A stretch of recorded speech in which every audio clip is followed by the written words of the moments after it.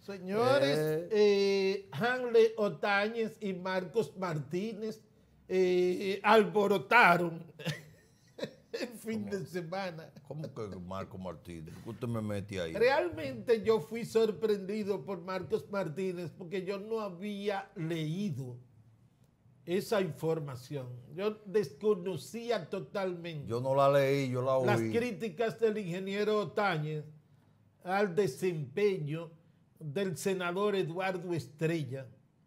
Y entonces, eh, cuando Marcos Martínez hizo el comentario que Luna TV sube ese comentario en corre, corre, se consultó con Otañez y dijo, sí, yo confirmo que dije eso y más. se quedaron cortos.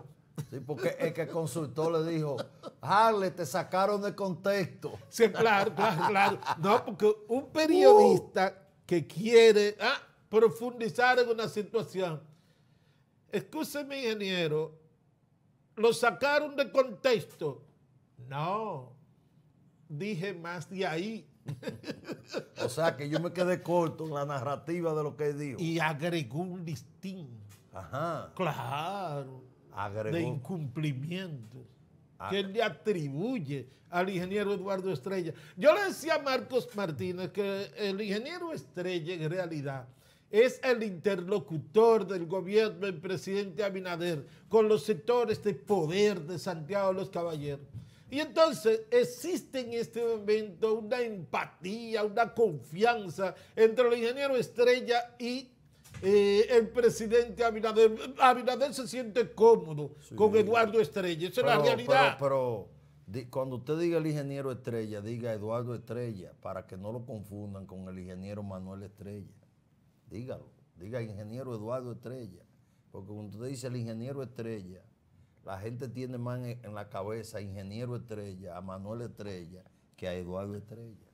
Exacto. Entonces, eh, esas críticas de Otaño, que yo particularmente vi como un poco excesiva, para mí eh, fue muy fuerte el ingeniero Otañez en, en esas críticas, porque hay que entender el contexto y la situación que existe en este momento con el ingeniero Eduardo Estrella. Ciertamente, como dice el ingeniero Tañe, el Estrella parece más un funcionario del gobierno que un senador que representa a todos los sectores de la provincia. Y como representante de la provincia tiene que tomar en cuenta todas las inquietudes que existen en todos los sectores. Sí, eso es verdad, pero reitero, como el presidente Abinader lo tiene como su interlocutor. Es difícil que, el ingeniero Estrella ahora venga a hacer un papel diferente. Es una situación compleja. Eso es lo que usted dice.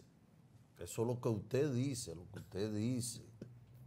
Pero yo que soy un hombre de Estado y que no para justificar, no, no tengo que señalar, yo he recibido llamadas de dos altos empresarios de Santiago que dirigen instituciones, incluso empresariales, diciendo que usted está equivocado, que no es verdad que él es interlocutor, que no es verdad. Y me pusieron de ejemplo que la vice es más interlocutor que ella, que aquí está muy dividido, que aquí hay empresarios que canalizan cosas a través de Eduardo, de Eduardo Estrella, el presidente del Senado, pero que hay otro sector que canalizan las cosas directamente. Incluso me, dijeron dos nombres de dos empresarios muy importantes de Santiago, que sus cosas con Luis Abinader como presidente lo canalizan con la primera dama porque están emparentados con la primera dama. Entonces no es como usted dice que Eduardo Estrella es de que canalizador y es, aquí hay empresarios que se la tienen a Eduardo. Además, Eduardo competidor, porque Eduardo tiene su preferido, el ingeniero Eduardo Estrella. Eh, eh, eh, pero además usted dice que son exageradas.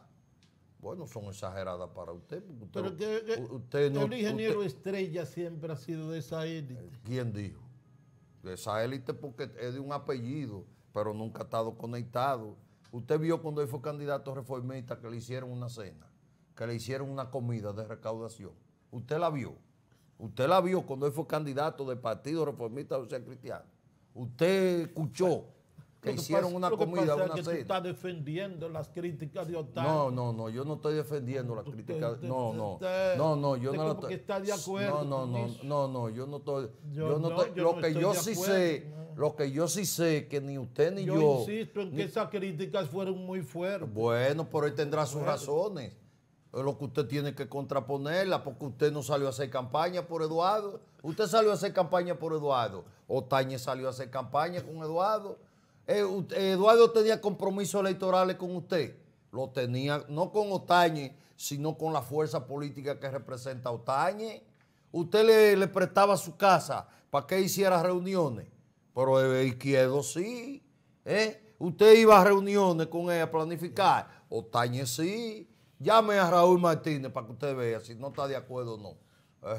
Eh, eh, muchacho, eh, pero usted no, ni yo, yo no, yo no hice campaña por Eduardo. Conmigo sí no tiene compromiso de ninguna El índole. viernes- Porque yo, yo no lo apoyé a él. Ah, Yo no lo apoyé. El, el viernes